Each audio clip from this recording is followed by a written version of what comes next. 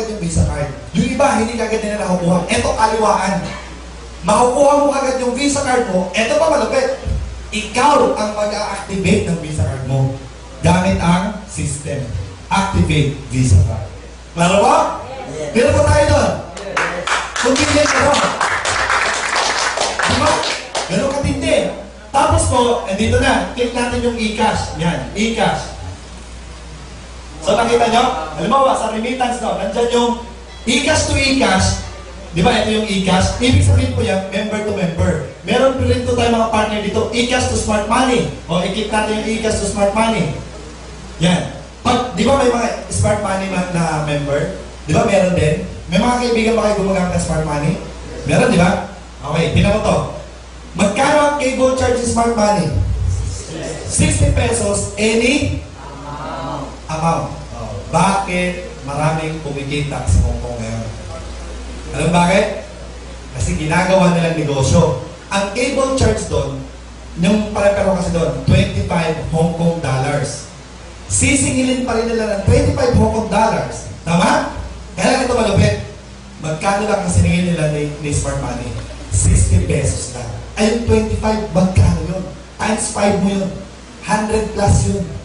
Nakuha niyo po, magkano ang tubo nila? Tama, kaya ginagawa nila, naumutang pa sa bangko, ang ginagawa nila, niload nila sa e-cash nila, tapos ginagawang negosyo ng pera. Money begets money. Di ba sarap na negosyo? Tama. Yun naman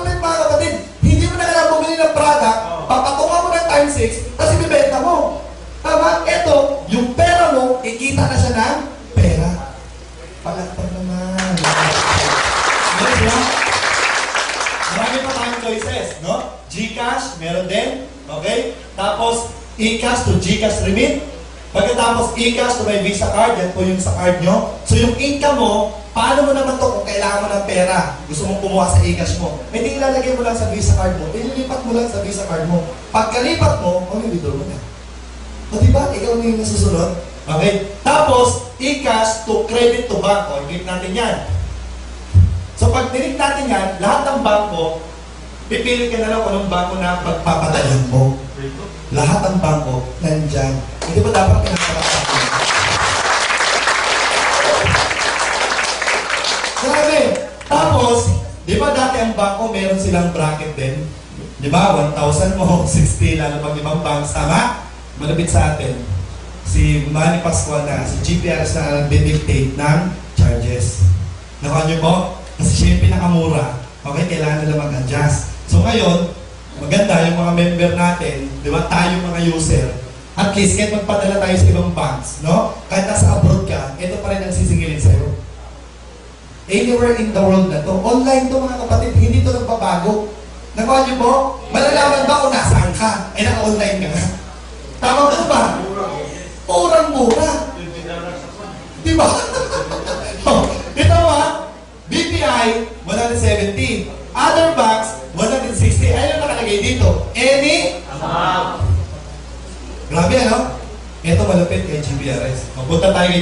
Kay GPRS. Ay, kay GPRS. Remittance. Ikas to ikas. Kung lahat member na? O, lahat ng kamag-anak mo member. Ikaw member. Lahat ng family mo member. Ang sarap magpadala ng pera. Bakit? Member to member, magkano lang? 25 pesos! Alam eh, Gawin simple. Registration code. Ilalagay mo lang ito yung registration code. F58 blah blah blah. Ilalagay mo lang dito. Transfer amount, password mo, submit. Alam mo malupit? Seconds lang nandun na. Real time.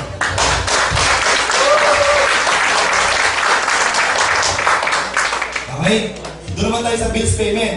Bills payment naman, na dati pinagkakapilahan, pinipilahan natin yan. Tama po ba? O ngayon, di na.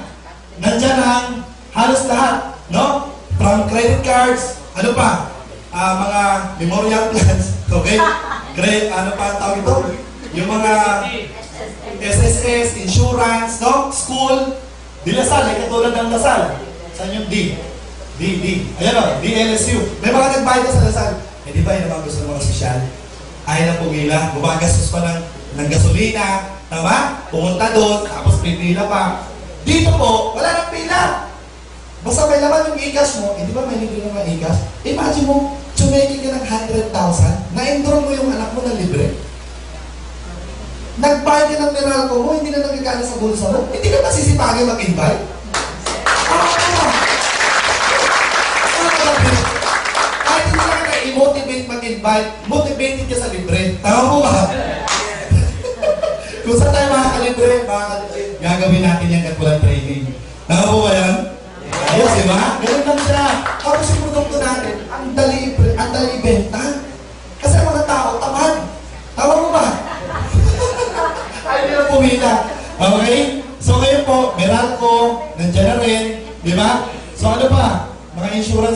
company, nandyan.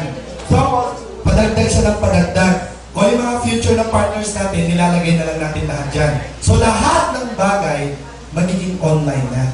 Lahat ng mga babayaran natin, magiging online na. So pag member ka ng GPRS, ma-appreciate mo itong system mo? Ma-appreciate mo ba? Yes! Yes, ano? Confirm natin sa palakpak. Yan! Okay, yes! Doon naman tayo sa online booking. Okay. Click natin yan. Tapos dito sa online booking, tingnan mo to ha. Ito, bago ko ipaano yan. Ah, sige, i-click mo natin. Manila. Manila to Afghanistan. Yun. Cebu. Tapos, date. Gagawin natin, December tayo. Yan. Tapos click natin naman 28. 28. Yan. Tapos, hindi na, walang walang return. One way yan eh, one way. So, ang gagawin natin is search lang natin. Oh. Normally, pag hindi ka member ng GPRS, anong, anong buhay mo sa pag nagbubook? Ano ba? Online. Ano gagawin mo? Buksan mo si book, buksan mo lahat ng online. Lahat ng website nila bubuksan mo, tama? Pero kay GPRS, hindi ganyan. Lahat po, i-reply na sa'yo. Ayos yun! Baba natin. Baba. Oops! Stop. Ano tong linya na to? Alam mo tong linya na to? Hanggang dito nyo lang po nakikita yung price. Nakuha nyo po? Ito, hindi pinapakita yan. Pero sa'yo, pinapakita. Kasi yan yung papatungan mo. Nakuha nyo yung point? Nakuha nyo yung point? Meron po tayo dyan? Alam mo ang advantage pa natin? Sa traditional, pag nag-apply kayo ng ticketing, nagnegosyo kayo, nag-apply kayo, rekta. Tama? Alam mo malapit? Pupunta sa iyong tao, magpapabook, alam mo gagawin mo? Manual, lote, tatawagan mo pa, confirmation ng ticket. Ito sa atin, pinili mo yung date, bilhin mo yan, kuha mo agad yung ticket, walang confirmation. Rekta mo sa system. Wala nang tawag. Kaya minsan kung bumibili, nag-aantay ng matagal, pinag soft drinks mo pa, pinag-ice tea mo pa. Bakit? Ang tagal ng confirmation, minsan busy yung telepono. Nakuha niyo po? At tanong ko sa inyo, ready na ba kayo na hindi na kayo pagkakitaan ng mga travel agency? Grabe, no? Yun lang naman eh. Tama? At pwede ba ito ibenta? Siyempre po, pag domestic, ang kita niyo po dyan, 150 to 300 pesos, yun po yung ipapatong nyo. Clear po tayo doon? Pag international naman ang binibenta nyo, 750 to 1,200. Yun naman ang kikitaan nyo. So, yan yung ticketing. Okay, taas. Yan. Tapos, ito naman yung online shop natin. Available lang dyan yung buy codes, no? Pero kagandahan dito, sa online shop natin mga kapatid, dyan din ilalagay yung sina Jollibee, no? Sina Chowking, lahat. Order Jollibee, pag order ni Down9, ginuto, di ba may ano na sila, delivery na? Tapos online na rin sila, di ba, McDonald's. Pag click niya, McDonald's, nag-order, piso siya apply. Ito mga malupit eh. Nagbabaliwan kami sa ibang bansa. Yung taga ibang bansa, mga, mga OFW din, tuntua sila, at nakaisin na sila ng idea. Anak, saan ka ngayon? Ay, nandito ako dan. Nagugutom nga ako eh. Magantay ka,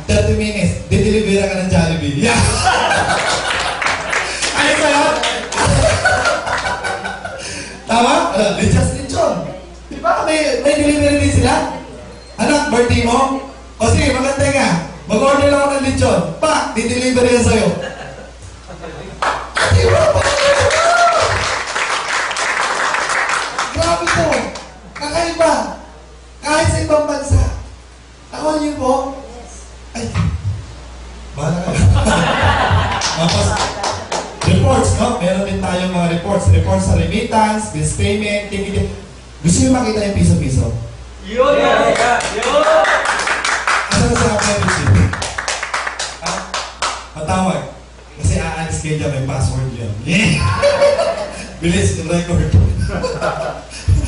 okay. So, ngayon, nakita nyo na magiging iba ang buhay natin pag may ganito tayong sistema. Tama po ba? Yes! Huwag mo nang isipin yung networking kapatid.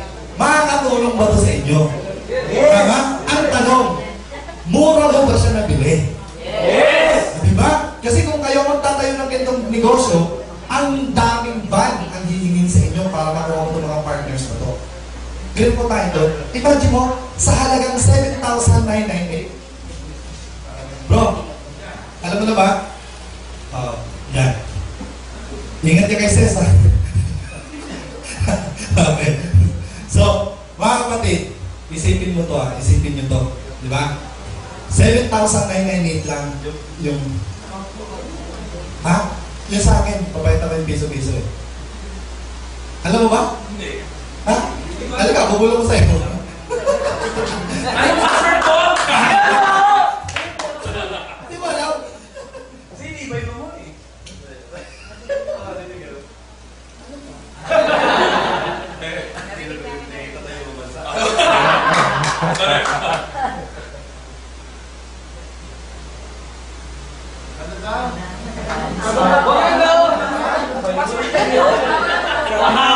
Password niya? ABC to Z. Sin.